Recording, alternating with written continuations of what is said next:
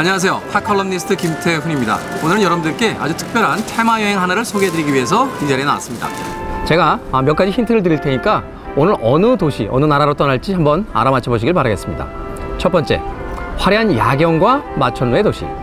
두 번째, 아시아를 대표하는 미식의 도시. 세 번째, 추억의 영화 속에 명소가 있는 도시. 너무 쉬웠죠? 많은 분들이 맞추셨을 거라고 생각됩니다. 바로 홍콩입니다.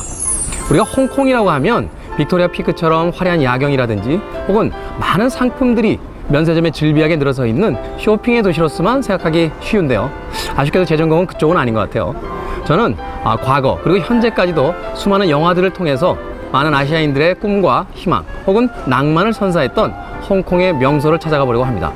저와 함께 홍콩의 이곳저곳을 같이 다니시며 어, 여러분들이 보셨던 영화 속의 그 장면들 한번 떠올려 보시는 건 어떨까요? 다녀오겠습니다. 오늘날 한류 영화와 드라마가 아시아의 주류 콘텐츠로 각광받고 있지만 과거 우리의 안방 극장엔 홍콩 스타들의 영화와 광고가 신드롬처럼 쏟아지던 시절이 있었습니다. 영웅본색, 무간도, 천밀밀, 화양연화, 중경삼림 등 우리의 가슴 속에 향수로 남아있는 그때 그 시절 홍콩 영화들. 영화 속 명소들만 찾아가도 홍콩을 한 바퀴 다 둘러볼 수 있을 정도라고 하는데요. 더불어 먹방 열풍 대세를 따라 계획한 홍콩의 식도락 테마 여행까지 한번 알차게 즐겨볼까요? 와우. 네, 저는 지금 홍콩 국제공항에 내렸습니다. 홍콩에 오면 벌써 공기부터 좀 다른 것 같아요. 아무래도 우리나라보다 습도가 좀 높기 때문에 뭐라고 할까요? 그 공기가 좀 무겁다라고 할까요? 그런데 그 홍콩 특유의 어떤 냄새 같은 게 있습니다. 어떤 분들은 그것이 음식 냄새라는 말씀도 하십니다만 어, 주변을 이루고 있는 어떤 환경들의 냄새 같은 게 느껴져요. 네. 제가 너무 과장된 표현이 아니냐고요? 음, 홍콩에 자주 오시면 그 느낌을 여러분들도 아실 수 있을 것 같습니다. 자, 비가 좀 내리고 있습니다. 뭐 여행에서 가장 중요한 게 날씨라고는 하는데 그럼에도 불구하고 이 홍콩은 어, 비가 올 때도 굉장히 운치있고 멋있습니다. 아, 마치 그 80년대, 90년대에 유행했던 홍콩 누아르의 한 분위기 같은 것을 이 비 오는 날의 풍경 속에서 느낄 수 있거든요. 떠나보도록 하겠습니다. 자, 따라오시죠. 중국 광동성의 끝자락에 위치한 홍콩. 향기로운 항구라는 한자 이름과 역사를 품은 현대 도시라는 수식어처럼 다사다난한 역사 속에서 대륙과 도서, 동양과 서양의 문화가 다양하게 어우러져 있는 모습을 볼 수 있습니다. 시내를 구석구석 살펴보면 전통과 현대의 매력 또한 멋스럽게 공존해 있는데요. 크게 홍콩섬과 침사추위로 나뉘어지는 홍콩 시내. 저는 먼저 홍콩섬으로 발걸음을 옮겨보겠습니다. 홍콩 영화 베스트라고 한다면 1970년대부터 지금까지 참 많은 홍콩 영화를 봐왔기 때문에 어느 한 편을 딱 골라내기가 쉽지는 않아요. 그런데 아, 작품의 측면에서 또 연출력의 측면에서 딱 한 편의 걸작을 골라야 된다. 저는 무간도 시리즈를 권해드리고 싶습니다. 아, 경찰과 갱이라는 각기 다른 신분의 두 주인공이 엇갈린 운명 속에서 어, 좌절하고 혹은 그 운명을 극복하기 위해서 처절한 아, 싸움을 벌이는 그런 이야기를 담고 있는데요. 마치 중국에서 태어났지만 어, 영국에 의해서 100년 동안 지배당했고 다시 중국으로 편입된 그래서 자신들의 정체성에서 혼란스러워하는 어떤 홍콩 시민들의 어떤 그 마음속의 이야기들을 그런 두 명의 각기 다른 캐릭터를 통해서 영화가 보여주고 있는 것은 아닌가 하는 생각을 해봤어요. 어, 단순한 뭐 액션 영화, 누아르 영화로서도 어, 굉장히 작품성이 높은 작품이긴 합니다만 아마 홍콩이라는 아주 특수한 역사를 가진 아, 도시의 사람들에 대한 이야기라고 생각하시고 들어 영화를 보신다면 아마 조금 더 다른, 좀 더 깊은 느낌을 볼 수 있는 그런 영화가 아닌가 싶네요. 잠들어 있던 감수성을 깨웠다. 네. 고등학교 때 본 영화 중에 천장지구라는 영화가 있습니다. 아, 말하자면 이제 유덕화가 5천년 씨와 함께 약간 이루어지기 힘든 그런 이제 사랑 이야기를 어, 보여주는 그런 영화인데 아, 한참 예민한 감성이 예민하던 고등학교 시절에 봤어요. 근데 그 반항적인 그 유덕화 씨가 오토바이를 끌고 와서 아, 5천년 씨에게 웨딩드레스를 입히고 같이 그 아, 둘만이 있고자 하는 공간으로 향해서 막 달려가는 장면 같은 거는 거칠기만 했던 소년 시절의 어떤 일만의 낭만 같은 거를 좀 부여해줬던 그런 영화가 아니었나 하는 생각이 들어요. 개인적으로는 아, 거칠었던 이제 사춘기 일말의 아, 담비 같은 감정을 부여했던 그런 영화다. 단연 중경삼림 아닐까요? 어, 우리가 그동안 홍콩이라는 공간을 굉장히 80년대, 90년대 느와르의 영화의 영향에 의해서 아주 뭐라고 할까요? 분위기가 있고 우울하고 또는 갱스터들이 등장하고 이런 공간으로서만 알았는데 왕가희 감독의 중경 삼림은 물론 홍콩인들의 그 90년대 후반 중반에 어떤 그 시대적 정서를 담고 있었음에도 불구하고 아주 경쾌한 음악 그리고 그 이전까지 보지 못했던 아주 파격적인 촬영 기법 이런 것들을 통해서 홍콩을 완전히 다른 이미지로 보여줬어요. 그래서 그 이전까지의 홍콩 영화들을 봤을 때는 홍콩에 꼭 가보고 싶다 는 아주 강렬한 충동까지는 못 느꼈다면 중경삼림을 본 세대들은 아, 자신들이 가장 가고 싶은 여행지로서 홍콩을 이제 1순위로 꼽게 되는 어떤 계기가 됐던 영화였죠. 시간 가는 줄 모르고 영화 수다에 푹 빠져 있는 사이 드디어 김태훈의 홍콩 트립 첫 번째 코스인 에버딘에 도착했습니다. 홍콩 섬 남서부 쪽의 항구 도시이자 수상 가옥의 천국이라 불리는 이곳은 추억의 홍콩 영화 속에 등장했던 건물들과 예스러운 골목들을 만날 수 있어 여행객들이 즐겨 찾는 명소라고 하네요. 혹시 이 장면 기억이 나시는지 모르겠습니다. 아, 영화 도둑들에서 이정재 씨가요 어디론가 가기 위해서 이제 배를 타고 이동하는 장면이었는데 한 손으로 이렇게 기둥을 잡고 또 한 손으로 이렇게 담배를 멋있게 피던 그 장면이 떠오릅니다. 제 기억이 맞는지 영화 한번 확인해 보시죠. 어, 어때요? 이정재 씨처럼 폼이 좀 나나요? 에버딘 항구에서 무료 페리를 타고 이동할 수 있는 전보 레스토랑. 이곳의 꼭대기층은 개방형 공간으로 꾸며져 에버딘의 운치 있는 풍경을 감상하기에 안성맞춤입니다. 그럼 과연 여기에선 어떤 무비톡, 푸드톡이 펼쳐질까요?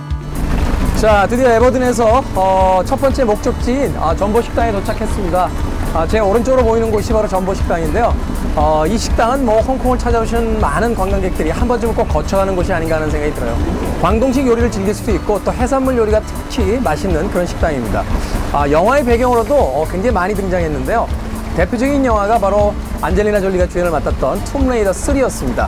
안젤리나 졸리가 어떤 한 끼 식사를 하는 아, 장면에서 등장했던 식당이 바로 이 전보 식당이고 우리에게 좀 더 유명한 식당은 바로 그 우측에 있는 태백 식당입니다.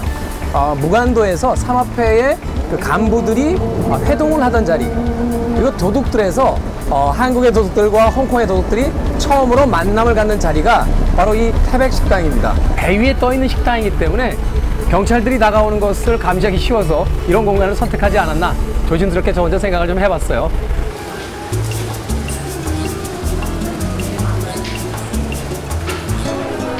자 주변을 이렇게 돌아보시면 아시겠습니다만 아, 고풍스럽죠. 아, 인테리어가 아, 예전 어떤 황실에서 썼던 문양들 뭐 용 같은 어떤 이런 그 상징적인 동문들을 사용해서 인테리어를 갖춰놓고 있습니다. 그만큼 뭐 귀한 손님들을 모신다 뭐 이런 뜻이 아닐까 하는 생각이 드는데요. 아, 중국 식당 특유의 어떤 원형 테이블 그리고 붉은색이 굉장히 많이 들어가 있는 이 인테리어 자체가 바로 이 홍콩을 대표하는 음식점이다 라고 생각하셔도 전혀 과한 표현이 아닐 것 같습니다. 네, 저는 지금 전보 식당에 와서 이렇게 메뉴판을 보면서 어, 뭘 먹을지 고르고 있습니다. 앞서 이야기해드린 것처럼 어, 이곳은 광동 요리를 어, 특화해서 어, 해산물 요리와 함께 하는 그런 어, 식당이라고 그래요. 아, 우리나라에도 굉장히 많은 중국 음식이 들어와 있는데요. 사실 중국 음식은 크게 네 가지 정도로 나눌 수 있다고 그래요. 북경 요리와 상해 요리 그리고 사천 요리와 광동 요리. 그런데 아쉽게도 이 광동 요리만큼은 우리나라에 그렇게 많은 음식점이 없다라고 합니다. 아마도 우리 입맛에 잘 맞지 않는 어떤 간 같은 게 있지 않은가 하는 생각이 드는데 이곳만큼은 많은 관광객들을 대상으로 하는 식당이기 때문에 전혀 부담 없이 즐길 수 있는 그런 요리들이 굉장히 많다라고 해요. 아, 이곳에서 찍은 영화들 앞서서 설명을 해드렸었죠. 한 가지 남겨놓은 영화가 있습니다. 바로 주성치가 주연을 맡았던 영화 식신입니다. 아, 말 그대로 요리를 가지고 대결을 벌이는 아주 코믹하면서도 중국 요리에 대한 어떤 그 만찬을 보여줬던 그런 영화였는데요. 바로 그 최후의 대결을 벌이는 곳이 이 전보와 태백, 태백과 전보 식당 바로 이곳에서 벌어졌다고 하는군요. 한마디로 이야기하자면 홍콩의 가장 큰 특징인 아주 그 풍부하고 맛있는 요리 그것을 대표하는 곳이 바로 이곳이다라고 이야기 드릴 수 있을 것 같습니다.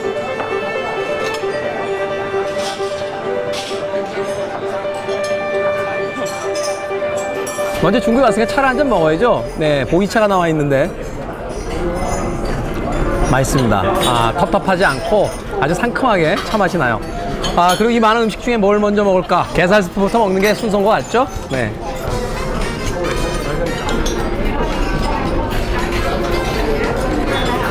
맛있네요. 아, 게살 특유의 어떤 그 부드러운 향과 음, 옥수수의 이 고소한 맛이 더해져서 아주 맛깔스럽게 넘어갑니다. 제가 어제 술을 안 마셨는데요. 술 한 잔 마시고 와서 해장으로 먹어도 굉장히 맛있는 스프다 하는 생각이 듭니다. 진짜 맛있습니다. 역시 새우는 아, 손으로 까야 제맛입니다. 아, 이거 막 벌써 냄새가. 자, 새우를 뜯습니다. 과학적으로 증명된 건 아닌데요. 어, 진화론적으로 얘기해 보면은 이 갑각류가 전 세계에서 가장 맛있는 음식 같아요. 왜냐하면 아, 수많은 다른 짐승들이 와서 찝쩍거리는 바람에 아, 껍데기가 딱딱해지는 애들이잖아요.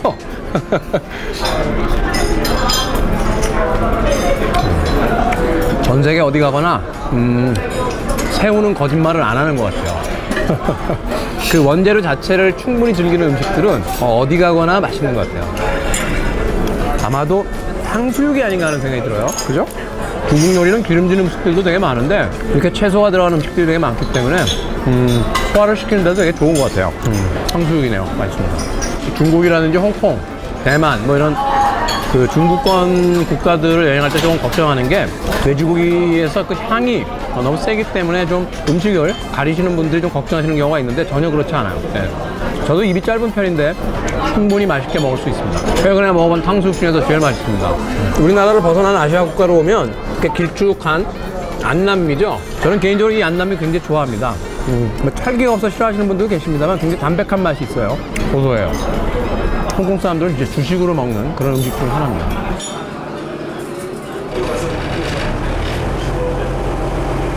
어, 비가 그쳤어요. 어, 더군다나 해가 나기 시작해서 리퍼스베이의 또 아름다운 초승달 모양의 해변이 빨리 보고 싶어졌습니다.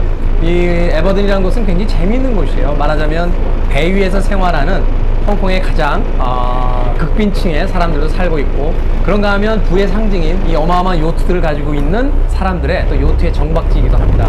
최상급과 최하급의 어떤 경제 규모를 가진 사람들이 아, 부딪히는 곳 혹은 같은 공간이 있다는 것 참 묘한 느낌이 들죠? 리펄스베이로 가보겠습니다.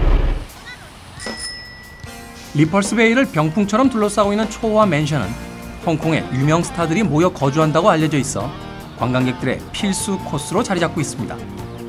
와, 비가 그쳤습니다. 아, 저는 지금 리펄스베이에 나와 있습니다. 멋있죠?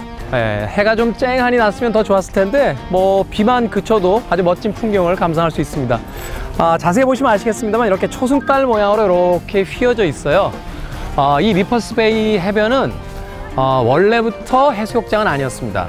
사실 홍콩에서 해수욕장이 그렇게 흔치는 않거든요.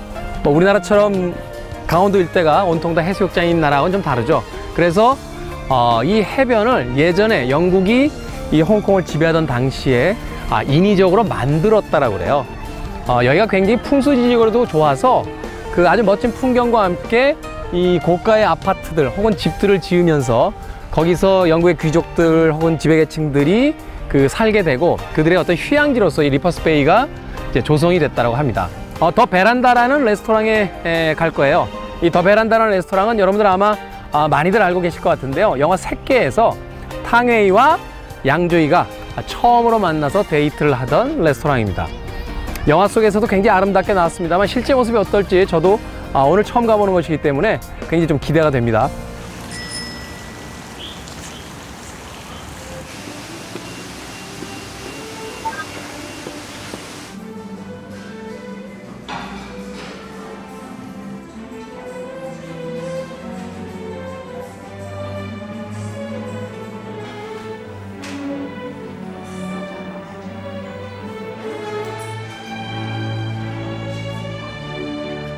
네, 드디어 새해에 촬영지였던 더 베란다 레스토랑에 와 있습니다. 제 앞에 있는 것은 뭐 여성분들은 이미 다 아실 것 같아요. 아, 영국이 100년 동안이나 이 홍콩을 지배했기 때문에 영국의 문화가 홍콩의 문화와 아주 자연스럽게 섞여 있는 것이 바로 이제 홍콩의 특징인데요. 그 대표적인 것이 바로 아, 3시부터 한 5시 정도까지 이 차와 함께 아주 맛있는 마카롱과 여러 가지 빵을 즐기는 아, 애프터눈 티입니다. 사실 이 더 베란다 자체가요 전 세계적으로 가장 유명한 호텔 체인이죠 페닌슐라에서 어, 운영을 지금 하고 있더라고요 바로 이 페닌슐라에서 가장 유명한 afternoon tea 문화를 이곳에서도 즐길 수가 있습니다 저는 사실 단 거를 별로 그렇게 좋아하지 않아서 홍콩에 와서도 afternoon tea를 먹어본 적이 별로 없어요 그런데 오늘은 아, 특별히 이 하나 투어에 아, 여러분들의 어떤 홍콩 투어를 그 소개해드리기 위해서 이 자리에 와 있습니다 저도 약간 좀 어, 설레요 어. 애프터눈 티라고 하면은 어떤 걸 제일 먼저 먹을까 생각했는데 역시 마카롱이 아닌가 하는 생각이 들어요. 네. 음. 맛있네요. 그래요. 그 그렇게 많은 여성분들이 이걸 드실 땐 이유가 있겠죠. 그죠? 너무 단 음식을 먹으면 그 음식의 뒷맛이 별로 좋지 않잖아요. 근데 굉장히 깔끔해요. 예. 맛있습니다.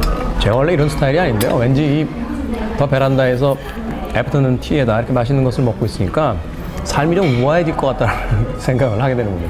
아, 생각해보면 새끼 양조이도요. 원래 우아했던 게 아니에요. 이런 장소에서 애프터눈 티를 먹으니까 이제 우아해지는 거죠. 아, 영화 새끼 보신 분들은 아마 더 베란다에서 양조위와 탕웨이의 대사를 아마 기억하실 겁니다. 아, 탕웨이가 묻죠. 여기 사람이 별로 없네요. 라고 했더니 양조위가 음식에 맛이 없어요. 대신 그래서 이야기를 나누긴 굉장히 좋은 장소입니다. 라고 아, 이더 베란다를 소개하는 장면이 있습니다. 아, 이것은 영화 속에서 설정을 위해 만들어진 대사예요. 실제로 이 더 베란다는 어, 음식이 굉장히 맛있고요. 특히나 이 애프터눈 티는 아주 멀리서부터 이걸 즐기기 위해서 찾아오는 분들이 굉장히 많다고 합니다. 새끼를 보게 되면 굉장히 인상적인 장면 하나가 나옵니다. 아, 상해에서 귀부인들과 마작을 하고 있던 탕웨이가 아, 제가 조금 있으면 홍콩에 다녀오게 되는데 뭔가 부탁할 게 있으면 말씀하세요. 라는 대사를 하죠. 그러자 그 귀부인들이 아, 갔다 올 때 스타킹을 좀 사줘 하는 이야기를 합니다.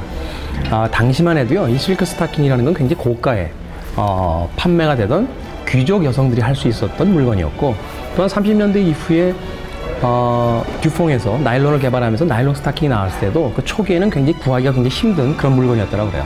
그러니까 아, 해외 문물이 막 섞여서 들어오더니 홍콩에 와야 그 물건들을 구할 수 있었기 때문에 바로 그 시대의 어떤 어, 시대상, 문화적인 또는 패션에 대한 어떤 역사까지도 함축하고 있는 그런 대사라고 볼 수 있습니다.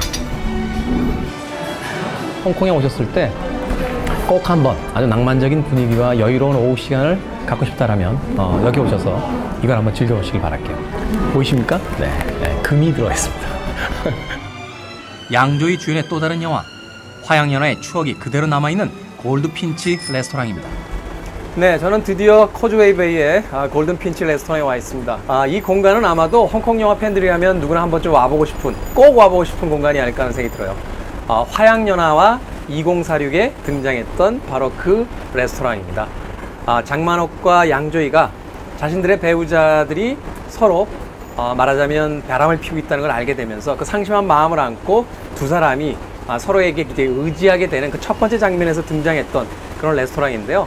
이 안에 들어가면 왕가희 감독에 나왔던 그 두 주인공들이 주로 먹었던 음식들로 아예 세트 메뉴가 있을 정도로 아, 영화와 홍콩의 최고의 명소로 어, 등록이 되어 있는 아, 그런 곳이기도 합니다. 저와 함께 한번 아, 이 공간에 들어가서 화양연화 속의 양조위와 아, 장만옥의 분위기를 느껴보시죠. 영화 속 배경인 60년대 인테리어를 오롯이 간직했기 때문일까요? 발을 딛는 순간 영화에 대한 진한 그리움과 감동이 밀려들면서 가슴이 먹먹해지더라고요. 아, 저의 맞은편은요, 어, 화양연화의 한 장면, 그리고 2046의 한 장면을 어, 대형 액자에다가 집어넣어서 이곳이 바로 그 아, 양조이와 장만옥이 식사를 했던 장소라는 것을 어, 보여주고 있습니다. 지금 아마 음악 소리가 들리실지 모르겠는데요. 그 화양연화 2046의 음악을 맡았던 어, 일본의 음악가죠. 시게루 우메바야시의 어, 그 영화 original score가 지금 나오고 있어요. 말하자면 음, 왕가위 이전과 이후로 아마 이 골드핀치 아, 레스토랑을 나눌 수 있지 않나 하는 생각이 들거든요. 어, 제 앞에 지금 이렇게 메뉴판이 있습니다. 한번 볼까요? 자. 2046 set meal이라고 되어 있죠. 바로 2046에서 어, 주인공들이 먹었던 그 음식으로 구성이 되어 있고요.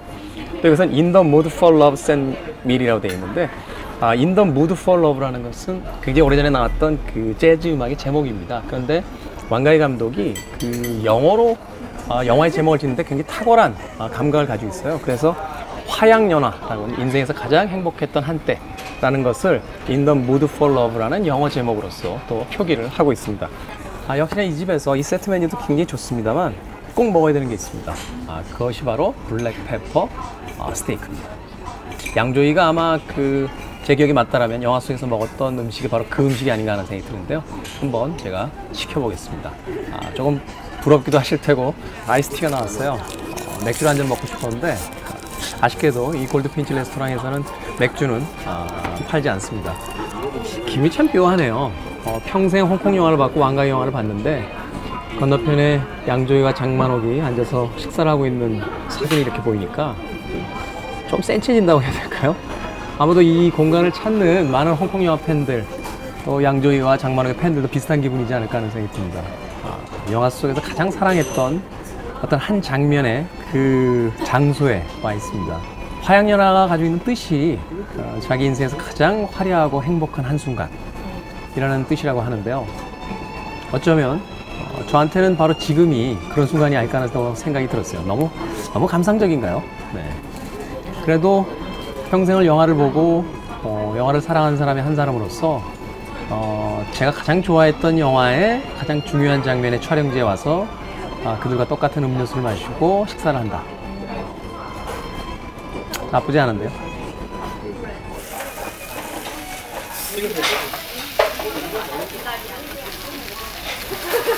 블랙페퍼 스테이크가 나왔습니다. 와, 생각보다 양이 굉장히 많은데요. 와, 이 돌판이 얼마나 뜨거운지 어, 썰면서 육즙이 나오니까 막 튀어요 앞으로. 와, 뭐 고기 좋아하시는 분, 스테이크 특히 좋아하시는 분들에게 화양연화의 배경뿐만이 아니라 아, 고기만 먹기 위해서 오셔도 후회는 안 하실 것 같아요. 이 소스에 찍어 먹는 거죠? 네.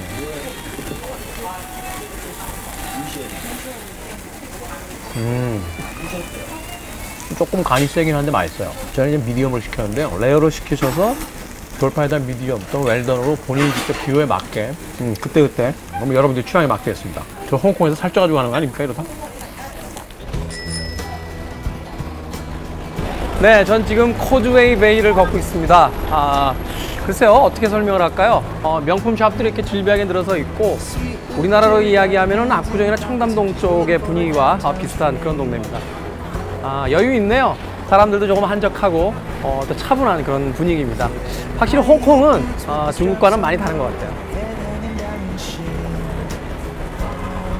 벌써 해가 저물기 시작하네요. 시간이 휙 지나가 버려서 아쉽기도 하지만 저에게 낮보다 더 찬란한 홍콩의 밤이 기다리고 있으니 뭐 괜찮습니다. 여러분도 홍콩의 밤으로 같이 떠나보시죠.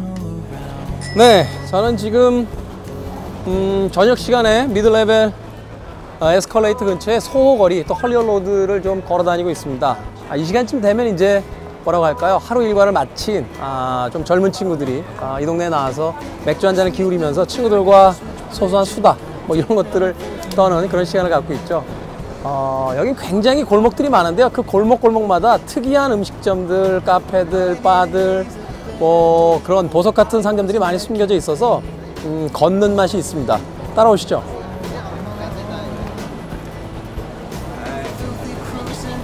소거리에는 참 볼만한 게 많은 것 같아요. 어, 관광객들에게 모든 게 다 새롭죠.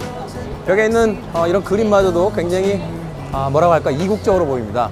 사실은 한국의 블로거들이 굉장히 사진을 많이 찍는 곳이라고 하는데 감상해 보십시오.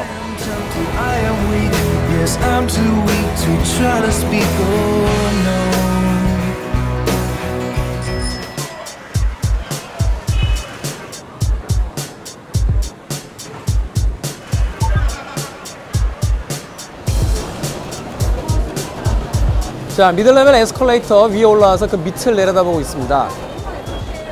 배트맨 다크나이트에서 크리스찬 베일과 모건 프리먼이 이야기를 나눴던 아, 그런 장소라고 하는데요. 영화 속의 주인공들이 이런 기분이었겠군요.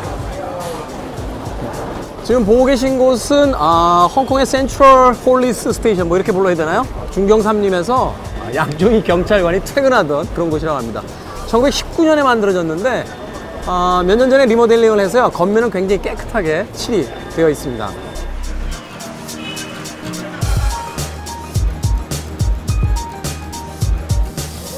네, 저는 지금 어, 여긴 카오키라는 아, 면 전문 음식점입니다. 밤새 돌아다녔더니 좀 출출해져서요. 야식을 먹으러 왔는데 줄이 뭐 어마어마하게 길군요. 굉장히 오랫동안 이 고기를 푹 고운 그 국물에 에, 이 쌀국수를 풀어서 하는 홍콩식 국수 요리라고 합니다. 양조위의 단골집이라고 해요. 왜 우리나라도 어느 음식점 가면 유명 연예인의 단골집이다 라고 해서 사진도 좀 붙어 있고 아 이곳이 그런 곳인 것 같아요. 양조위 씨도 와서 어, 줄 서서 먹는답니다. 홍콩의 밤은 낮보다 아름답다. 그럼 이제 본격적으로 홍콩의 night life를 즐기자고요. 사실 제가 엄청난 애주가거든요. 아, 여기는 바로 어, 홍콩의 어, 밤 문화를 가장 격렬하게 느낄 수 있는 랑카이펑입니다. 다양한 국가에서 온 많은 사람들이 밤 문화를 즐기기 위해서 바로 여기 와 있습니다. 특히나 이곳은요, 랑카이펑의 어떤 이정표가 되는 어, 만남의 장소라고 그래요. 그래서 주변을 둘러보시면 아시겠습니다만 누군가를 기다리는 사람들이 굉장히 많이 있는 곳입니다. 자, 이곳에 있는 수많은 바들 또 카페들 어, 한 번쯤 즐겨보시는 건 어떨까 싶습니다.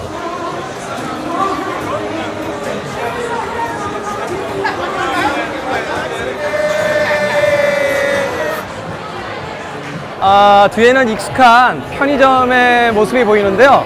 사실 이곳은 아, 그냥 편의점이 아닙니다. 2005년쯤에 아, 영업이 끝나면서 지금은 편의점으로 바뀌어 있지만 아, 이곳은 바로 아, 중경삼림이라는 영화 속에서 아, 왕정문이 아, 일을 하고 있던 Midnight Express라고 하는 아, 야식집이었어요. 일종의 샌드위치 가게였는데 바로 이 앞에서 양조위가 아, 왕정문을 만나는 그런 장면이 또 영화 속에서 굉장히 아주 멋지게 펼쳐졌었죠. 잠깐 들어가 볼까요? 뭐 일반 편의점이긴 합니다만 그래도 영화의 가장 중요한 장면 중에 하나였던 그 공간이니까 한번은 들어가 보고 싶어졌어요.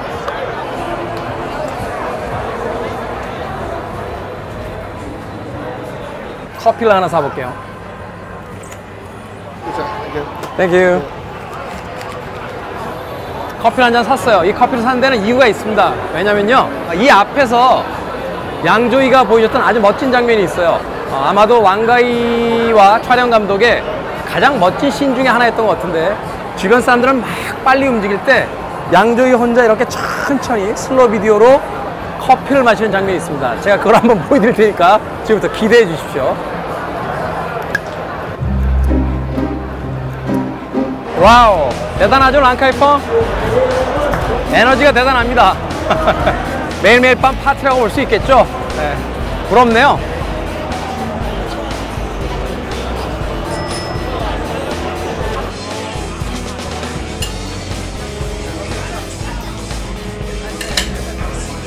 자 이곳은 아, 전 세계 어디 가거나 아, 있는 프랜차이저 중에 하나긴 합니다만 하드락 카페입니다 아, 저야 뭐 어차피 여러분들이 아시다시피 음악 평론가니까요. 어, 전 세계 어디 가거나 음악이 있는 곳에 제일 먼저 찾아가는 것 같아요. 마돈나에 관련된 자료들도 있고, 마이클 잭슨이라든지 또는 헤비메탈 밴드, 어, 락 밴드들의 여러 가지 자료들이 있습니다. 이국인 이 홍콩에서 또 음악에 흠뻑 취해보는 것도 괜찮거든요. 자, 맥주 한잔 시켰습니다. 마셔도 되겠죠? Cheers.